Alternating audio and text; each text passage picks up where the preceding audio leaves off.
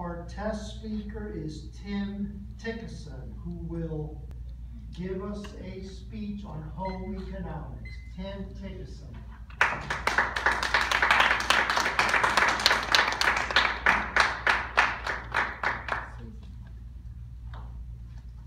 Do you ever say to yourself, kids today don't know anything? If there's not an app for it, they're not gonna know how to do it. There's an answer to that. There's a solution. The solution is home economics. Remember back in junior high, you took a home economics class, you probably made a little pillow, looked like a three-legged octopus or a strange kitty cat. That was the key to you becoming the good people that you are now. And it's home economics because home is the center of our lives. We live at home, home sweet home, the comforts of home. You lay your head at home, you go to bed at night.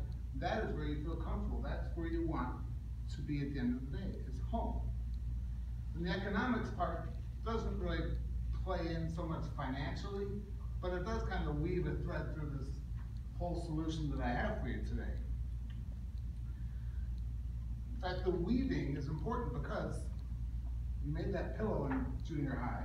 I'm sorry, middle school, they call it now. But a lot of people today, a lot of young people, millennials, don't know how to sew on a button. Do you believe that? Mm-hmm. They can't sew on a button. If I lost this button on my jeans, I'd be annoyed this I don't know how to do it, but I do know how to do it because it's a skill that I learned when I was just, well, not this tall, this tall probably. I don't know, I was tall. but it's a skill that I learned back in middle school. It's a good skill to have. And also, it wasn't necessarily a home economics, a portion of home economics, but it was another class altogether, shop. And who here took shop class? Not any of us. What do you learn how to do in shop?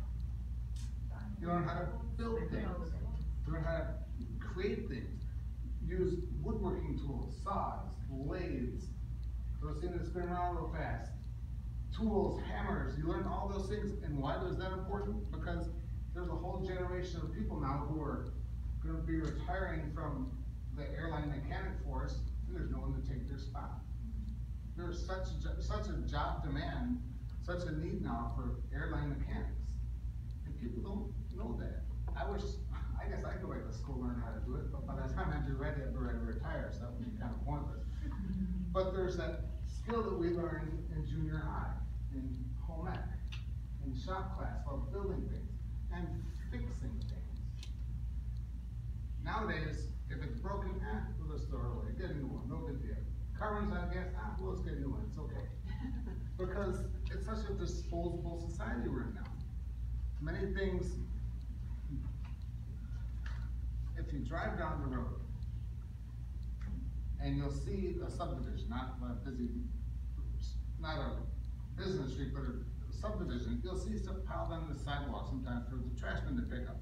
Vacuum cleaners, chainsaws, lawnmowers, and then often you'll see a guy with a great big pickup truck who stops and he loads in the back of his truck.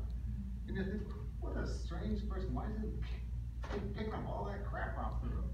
Well, that guy picks up all that crap off the road because he has a skill. He can fix those chainsaws. He can pick it up for free, fix it, and sell it for seventy-five dollars, which is a bargain for a chainsaw. But he makes seventy-five dollars on it. Because he learned in shop class that there's a skill that you need to keep this, to keep our society going. We don't need to buy everything new. We can rebuild things, fix things. And while you're fixing things, let's fix dinner. How many of us say ate, ate on the way here? All right, someone did. How many of us are gonna go home tonight and fix a nice big dinner, seven course meal? Seven courses? I'm going to your house. But our world is so much grab it needed. It's easy to drive through, a you know, go through the drive-through at any restaurant and say, I'll just take this thing home and eat on the way or eat it home. People, not even just children, but a lot of people are losing the ability to cook. And cooking is essential, I think it's essential because it learns about food. Combining foods, making foods. Who knew? Who was the first one to discover you can take a bunch of flour, a bunch of sugar, and some eggs, and some vanilla, and presto, cake? Who was the first one to do that? I wonder that. But you can do that. Ever made a, you ever made cake from scratch? I made one about a month ago for my son's birthday, August fifteenth. I made a cake from scratch. And I told somebody at work that I made this cake, and they're like, why aren't you afraid that because it's out of a box, there's like, it's just gonna go bad before you eat it all?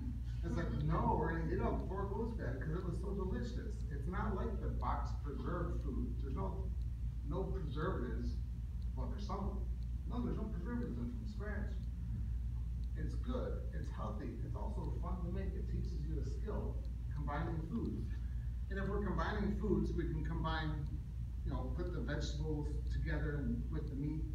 And what's that gonna do to people, to young people? It's gonna teach them to eat better.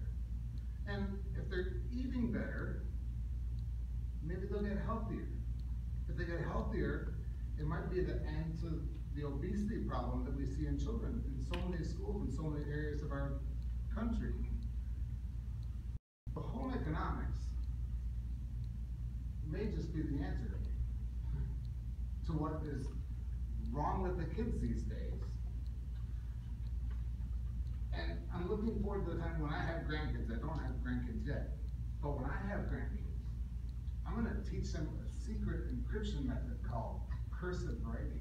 I look forward to that day also. Yeah. Mr. Contest Master.